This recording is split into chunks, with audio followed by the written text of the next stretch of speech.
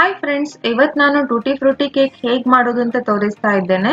Recipe start ಮಾಡುವ ಮುಂಚೆ ಯಾರು ಇನ್ನು ಈ ಚಾನೆಲ್ ಅನ್ನು ಸಬ್ಸ್ಕ್ರೈಬ್ ಮಾಡ್ಲಿಲ್ವೋ ಅವ್ರು ಈಗಲೇ ಸಬ್ಸ್ಕ್ರೈಬ್ ಮಾಡಿ ಹಾಗೂ ನೋಟಿಫಿಕೇಶನ್ ಗಳಿಗಾಗಿ ಪಕ್ಕದಲ್ಲಿರುವ ಬೆಲ್ ಐಕಾನ್ ಅನ್ನು ಕೂಡ ಒತ್ತಿ. ಮೊದಲಿಗೆ ಒಂದ್ ಕಪ್ ಅಷ್ಟು ಸಕ್ಕರೆ ಹುಡಿಯನ್ನು ತಗೊಂಡಿದ್ದೇನೆ. ಇದಕ್ಕೆ ಒಂದು ಕಪ್ ಅಷ್ಟು ಮೊಸರನ್ನು ಹಾಕಿ, ಎರಡು ಚೆನ್ನಾಗಿ ಹೊಂದಿಕೊಳ್ಳುವ ಹಾಗೆ ಮಿಕ್ಸ್ ಮಾಡಬೇಕು.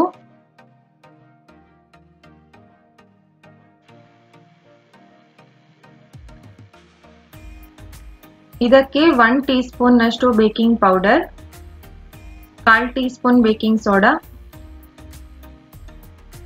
ಪುನಃ ಒಂದು ಕಾಲ್ ಟೀ ಸ್ಪೂನ್ ಒಟ್ಟಿಗೆ ಅರ್ಧ ಟೀ ಸ್ಪೂನ್ ಅಷ್ಟು ಬೇಕಿಂಗ್ ಸೋಡಾ ಹಾಕೊಂಡಿದ್ದೇನೆ. ಇದನ್ನು ಒಮ್ಮೆ ಮಿಕ್ಸ್ ಮಾಡಿ ಹತ್ತು ನಿಮಿಷ ಹೀಗೆ ಇಡಬೇಕು.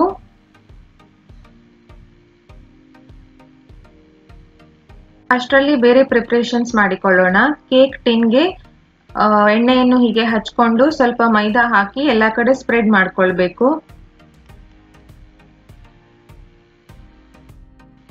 ಬಟರ್ ಪೇಪರ್ ಯೂಸ್ ಮಾಡದೇ ಇದ್ರೂ ಈ ತರ ಮಾಡಿಕೊಂಡಾಗ ಕೇಕ್ ಈಸಿಯಾಗಿ ಡಿಮೋಲ್ಡ್ ಮಾಡಬಹುದು ಕಾವಲಿಯಲ್ಲಿ ಸ್ವಲ್ಪ ಮರಳನ್ನು ಹಾಕಿ ಒಂದು ಸ್ಟ್ಯಾಂಡ್ ಇಟ್ಟಿದ್ದೇನೆ. ಇದನ್ನು ಮುಚ್ಚಳ ಮುಚ್ಚಿ ಲೋ ಫ್ಲೇಮ್ನಲ್ಲಿ ಹತ್ತು ನಿಮಿಷ ಪ್ರೀಹೀಟ್ ಮಾಡಿಕೊಳ್ಬೇಕು.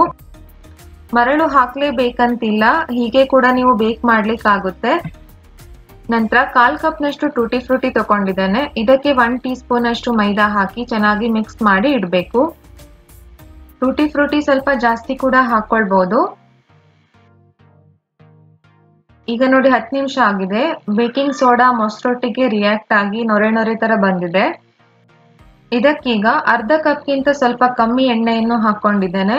ಮತ್ತೆ ಒನ್ ಟೀ ಸ್ಪೂನ್ ಅಷ್ಟು ವೆನಿಲಾ ಎಸೆನ್ಸ್ ಅನ್ನು ಹಾಕಿ ಮಿಕ್ಸ್ ಮಾಡಬೇಕು.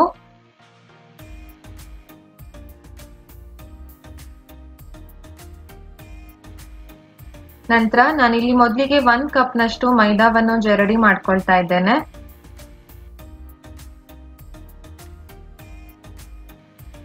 ಮತ್ತೆ ಪುನಃ ಒಂದು ಅರ್ಧ ಕಪ್ ನಷ್ಟು ಮೈದಾ, ಒಟ್ಟಿಗೆ ಒಂದೂವರೆ ಕಪ್ ಅಷ್ಟು ಮೈದಾ ಇಲ್ಲಿ ಹಾಕಿದ್ದೇನೆ.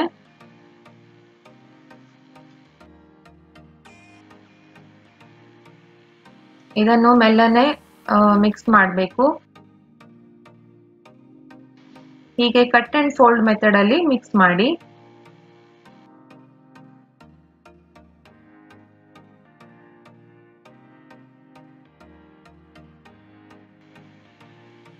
ಈಗ ಇದು ತುಂಬಾ ಕಿಕ್ಕಿದೆ. ಹಾಗಾಗಿ ಇದಕ್ಕೆ ಕಾಲ್ ಕಪ್ ನಷ್ಟು ಇಲ್ಲಿ ಹಾಲನ್ ತಗೊಂಡಿದ್ದೇನೆ. ಇದನ್ನು ಸ್ವಲ್ಪ ಸ್ವಲ್ಪನೇ ಹಾಕೊಳ್ಬೇಕು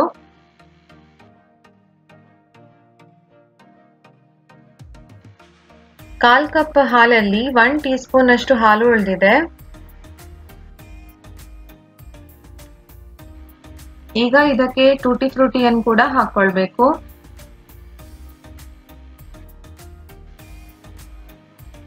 ಈಗ ಇದನ್ನು ಬೇಕಿಂಗ್ ಟಿನ್ಗೆ ಟ್ರಾನ್ಸ್ಫರ್ ಮಾಡಿಕೊಳ್ಬೇಕು.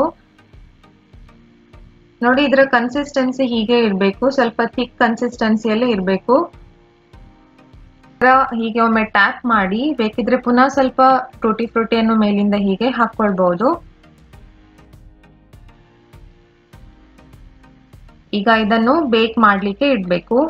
ಲೋ ಫ್ಲೇಮ್ನಲ್ಲಿ ನಲ್ವತ್ತರಿಂದ ನಲವತ್ತೈದು ನಿಮಿಷ ಇದನ್ನು ಬೇಕ್ ಮಾಡಬೇಕು. ಈಗ ಆಲ್ಮೋಸ್ಟ್ ನಲ್ವತ್ತೈದು ನಿಮಿಷ ಆಗಿದೆ. ಚೆಕ್ ಮಾಡಿ ನೋಡೋಣ, ಬೇಕಾಗಿದೆ ಅಂತ.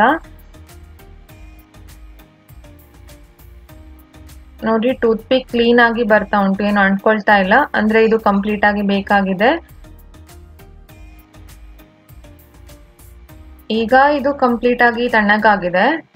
ಎಲ್ಲ ಕೇಕ್ ಬಿಟ್ಕೊಂಡಿರುತ್ತೆ. ಇಲ್ಲಾಂದ್ರೆ ನೈಫ್ನಿಂದ ಸ್ವಲ್ಪ ಬಿಡಿಸ್ಕೊಂಡು ಡಿಮೋಲ್ಡ್ ಮಾಡ್ಕೊಳ್ಬೇಕು. ನೋಡಿ, ಎಷ್ಟು ಚೆನ್ನಾಗಿ ಕಲರ್ ಬಂದಿದೆ ಅಂತ. ಸಾಫ್ಟ್ ಆಗಿ ಕೂಡ ಇದೆ.